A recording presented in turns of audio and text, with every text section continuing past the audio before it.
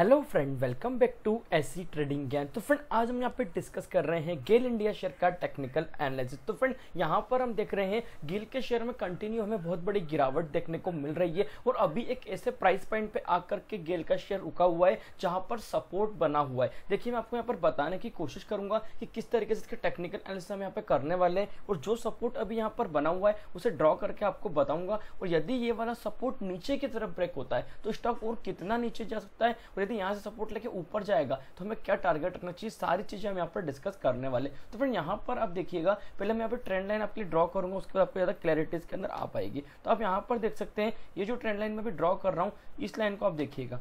यहाँ पर ये सपोर्ट की लाइन में ड्रॉ की और ऊपर की तरफ़ एक लाइन में ड्रॉ कर देते हैं हम यहाँ पे। ये वाली लाइन हमारी रेजिस्टेंस की लाइन इस बीच में भी स्टॉक किस तरीके से कामकाज कर रहा है? तो फिर यहाँ पर आप देखेंगे, ये जो चार्ट मैंने आपके सामने लगा रखा है, ये आपका वीकली कैंडलस्टिक पैटर्न चार्ट है। यहाँ पर एक कैंडल एक वीक को रिप्रेजेंट करते हुए आपको दिखाई दे रही है। तो नीचे की तरफ़ आप देखेंगे, यहाँ पर 200 दिनों के एक्सपोनेंशियल मूविंग एवरेज की लाइन जो कि ग्रीन कलर की हमारी लाइन है, वो 200 दिनों के एक्सपोनेंशियल मूविंग एवरेज की लाइन यहाँ पर आपको दिखाई दे रही है। तो फिर यहाँ पर जो नीचे सपोर्ट है, एक रुपए का, उसको यहाँ पर से देख सकते हैं। यहाँ पर सपोर्ट लेने के बाद इस सपोर्ट को लिया। नीचे जाने के बाद यहाँ पर ब्रेकआउट दिया। ब्रेकआउट देकर के स्टॉक कहाँ तक ऊपर जाता है? लगभग हमारा 150 160 के लेवल को टच कर देता है। यहाँ से स्टॉक फिर गिरता हुआ हमें दिखाई देता है और ये वाली जो गिरावट हमें दिखाई देती है, ये एग्जैक्ट हमारे उस सपोर्ट को यहाँ पर टच करते हुए दिखाई देती है। यहाँ पर आप देख सकते हैं, फिर से यहाँ पर सपोर्ट ले लिया गया है। यहाँ से स्टॉक में फिर हल्की सी तेज़ी और यहाँ पर देखा जाए तो ऑल ओवर यहाँ पर स्टॉक जो है हमारा एक के ऊपर की तरफ़ जाता है। ये देखिए 140 के ऊपर जाएँगे स्टॉक फिर गिरावट करता हूँ, ये वाली गिरावट कहाँ थी? वापस हमारे सपोर्ट पे। आप बस सपोर्ट को आइडेंटिफाई कीजिए और आगे क्या हो सकता है वो मैं आपको यहाँ पर बताने वाला हूँ। तो फ्रेंड देखिए, यहाँ पे ऊपर की तरफ़ एक सौ का हाई लगाया। इसी सपोर्ट ने। और उसके जब नीचे गिरावट हुई है तो इस सपोर्ट से गिरावट जो है उसने क्या करा? वापस से नीचे की तरफ़ स्टॉक को लेकर के आ गए हैं। और यहाँ से फिर एक तेज़ी हमें देखने को मिली। और ये वाली जो तेज़ी है, फिर हम एक सौ सत्तर के लेवल पर लेकर के गई है और नीचे वापस सपोर्ट लिया गया लेकिन अभी जो यहाँ पर सपोर्ट लिया गया है, इस सपोर्ट को आप देखिए, मैं रेक्टेंगल बना रहा हूँ। ये कोई छोटा सपोर्ट नहीं है। ये लंबे समय तक कंसिडरेट किया है। कम से कम छह वीक तक स्टॉक ने यहाँ पर कंसोलिडेशन दिखाया है। उसके बाद यहाँ से आई है फिर तेज़ी। और ये तेज़ी स्टॉक को 150 के ऊपर लेकर के गई है। और यहाँ वापस से सपोर्ट ले लिया गया। अब इस सपोर्ट के जब आइडेंटिफाई कर चुके हैं तो आपको आगे के डिसीज़न क्या लेना है, उस पर हम यहाँ पर डिस्कस करेंगे। सपोर्ट लेकर के बार बार स्टॉक जा कहाँ रहा है, ये देखिए एक सौ इकहत्तर, एक सौ सत्तर का जो लेवल है, इसको बार बार टच करने के बाद स्टॉक वापस सपोर्ट लेता है एक सौ तीस रुपए के लेवल पे। यहाँ पर आप देख सकते हैं, एक सौ तीस, एक सौ उनतीस का लेवल एक मेजर सपोर्ट लेवल यहाँ पर बना हुआ दिखा है। यहाँ पर भी आपको दो कैंडल के सपोर्ट दिखेंगे, ये देखिए इन दोनों कैंडल के सपोर्ट के फिर तेज़ी इसके अंदर स्टॉक में होती है मैं दिखाई दी और तेज़ी के साथ 145 को टच करते ही स्टॉक में अच्छी गिरावट देखने को मिली। अब जो गिरावट हुई, उसने जो ग्रीन कलर की लाइन है हमारी 200 दिनों का एक्सपोनेंशियल मूविंग एवरेज इसको भी ध्वस्त किया है।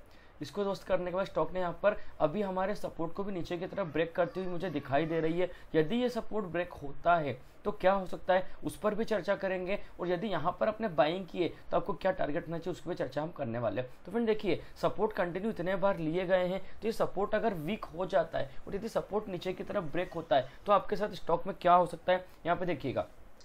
सबसे पहले तो मैं आपको बताऊँगा कि ये वाला लेवल है, ये देखिए, एक सौ उनतीस का ये लेवल है। यहाँ पे अगर आप बाइंग करते हैं तो आपका जो टारगेट रहेगा फ़र्स्ट वो क्या रहने वाला है? एक सौ का। बीस पॉइंट का आपको यहाँ पर टारगेट रखना है। और अगर ये वाला टारगेट भी ऊपर की तरफ़ ब्रेक हो जाता है एक सौ पचास वाला तो फ़र्स्ट टारगेट आप यहाँ रख के फिफ्टी क्वांटिटी यहाँ पर बुक करेंगे। और इसके बाद की जो क्वांटिटी आप क्या करेंगे? एक सौ के प्राइस पॉइंट में यहाँ पर आप क्या कर लेंगे उसको?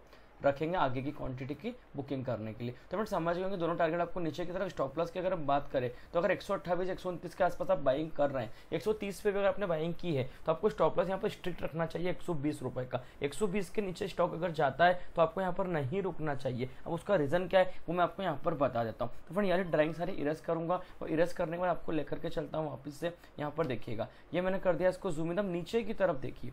यहीं से स्टॉक चलना स्टार्ट हुआ था इस रेंज के अंदर, यहाँ पर आप देखेंगे वही वाला चार्ट लगा हुआ है। बस मैं थोड़ा सा इसको क्या कर दिया, देखिए यहाँ पे। ये यहाँ पर देख सकते हैं आप। यहाँ से स्टॉक चलना स्टार्ट हुआ है।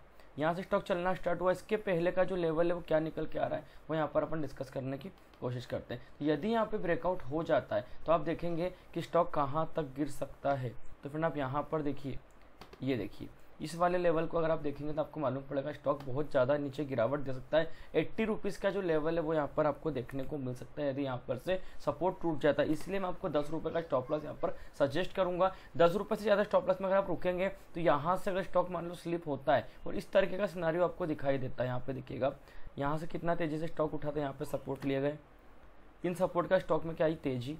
और ये तेज़ी स्टॉक को कहाँ तक लेके गई है? ये वाले लेवल तक आप देखिए इसी तरह से अगर यहाँ से गिरावट हो जाती है सपोज़ तो स्टॉक कहाँ तक आ सकता है? इसी वाले लेवल तक स्टॉक वापस से आ सकता है और उतना ही तेज़ी से आ सकता है। इसलिए आपको यहाँ पर ध्यान रखना है। दस रुपए का स्टॉप लॉस आपको यहाँ पर रखना है और अगर उसके नीचे जाता है तो आपको एग्जिट कर जाने में ज़्यादा फ़ायदा रहेगा। या फिर अगर आप लॉन्ग टर्म के प्लेयर है तो आपको रुकना चाहिए। अगर नीचे गिरता है तो स्टॉप लॉस को रखें ही मत, क्योंकि गेल एक बहुत ही फंडामेंटली स्ट्रॉन्ग स्टॉक है। तो नीचे की तरफ़ अगर स्टॉक आता है तो एट्टी पे मैं आपको रिकमेंड करूँगा कि आप यहाँ पे क्वांटिटी को एक्यूमुलेटेड कीजिएगा। तो पचास पॉइंट नीचे आपकी क्वांटिटी एक्यूमुलेटेड होगी तो हंड्रेड रुपीज़ का आपका एवरेज प्राइस हो जाएगा। यदि स्टॉक ज़्यादा गिरावट दिखाएगा उस सिनारियों में। तो फिर जो रिवर्सल आएगा, उसमें आपको यहाँ पर बहुत अच्छे यहाँ पर टारगेट देखने को मिल सकते हैं। लेकिन फ़िलहाल अगर आपने बाइंग कर ली, घबराने की यहाँ पे ज़रूरत नहीं है। अभी यहाँ पर ब्रेकडाउन हुआ नहीं है।